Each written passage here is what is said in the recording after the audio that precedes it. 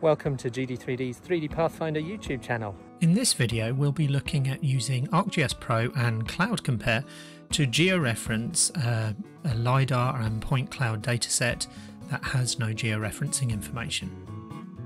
In ArcGIS Pro, create a point feature class with Z values enabled to allow you to record heights. Then in that layer, create a minimum of four points. After that, save the layer and run the geoprocessing tool add XY coordinates this will then add to the attribute table relevant positions of XYZ on your points. Once done, open up your attribute table and copy those values to a text editor like Notepad with a file name and the extension .asc. For each line, ensure that values are separated by a comma and then follow it by an RGB value for each point. Here I use red, green, blue and white values. This will be used in CloudCompare shortly pause here to see the formatting of this.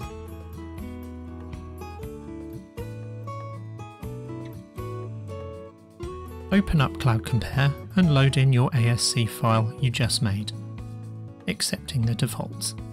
If unsure on settings, pause the video here.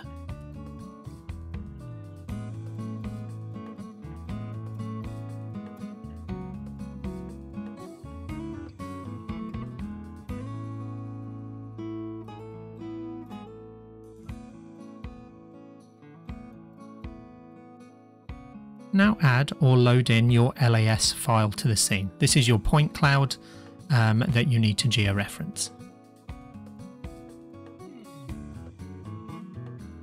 Select your two layers, use the control key and left click for each.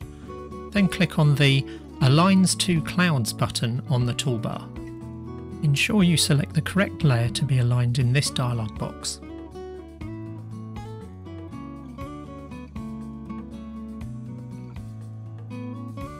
Now navigate to the four points in the scene. You may have to adjust point size to see them.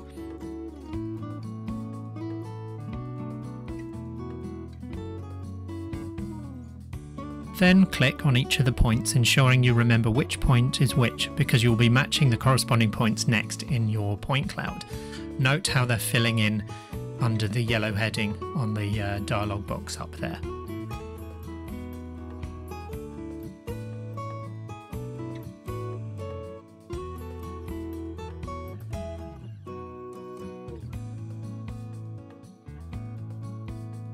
Navigate back to your point cloud and try and select as best as possible and in the same order as for your four points, each of the features in your point cloud those points correspond to.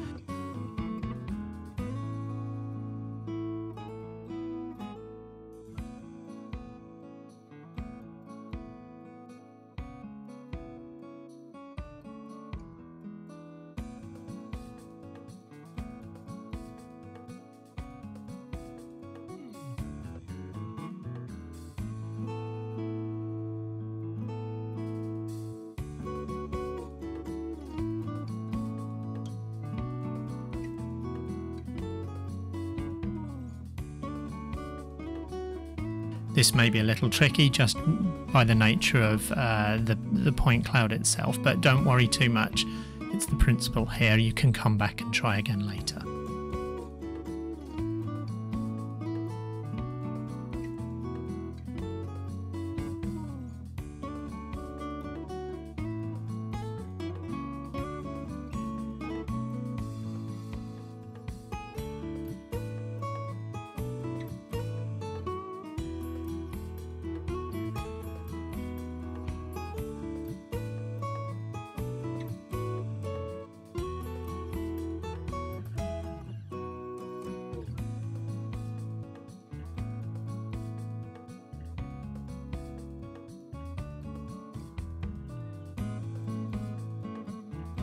Once complete, go to the table of points and check it all.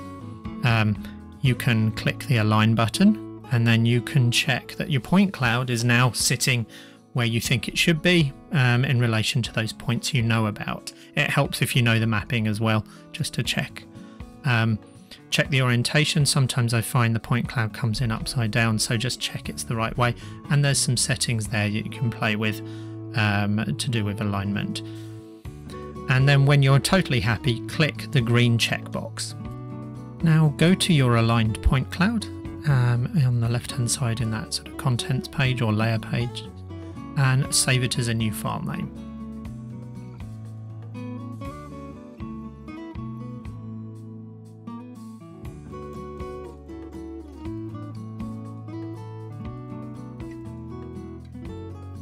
Once completely saved, you can go to ArcGIS Pro and add it to your map.